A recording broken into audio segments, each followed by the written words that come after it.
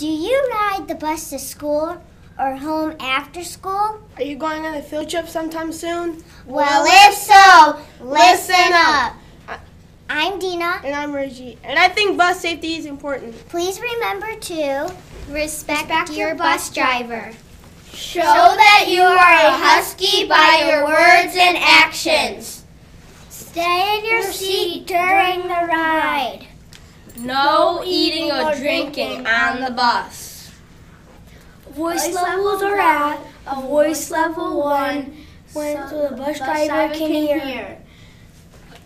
Backpack should be on your lap during the ride. Do not run to your bus.